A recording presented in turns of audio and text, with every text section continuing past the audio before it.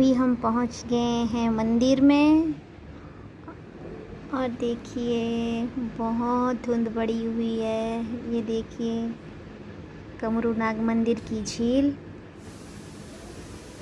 अभी यहाँ धुंध पड़ी है तो साफ़ नहीं दिखाई दे रही है, लेकिन हमारे साथ बने रहिए। मैं आपको पूरा मंदिर बताऊँगी। ये देखिए।